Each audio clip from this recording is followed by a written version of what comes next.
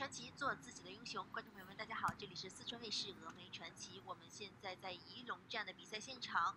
本场比赛是男子六十五公斤级自由搏击规则二零一七年世界王者三十二强 B 组晋级赛的替补赛。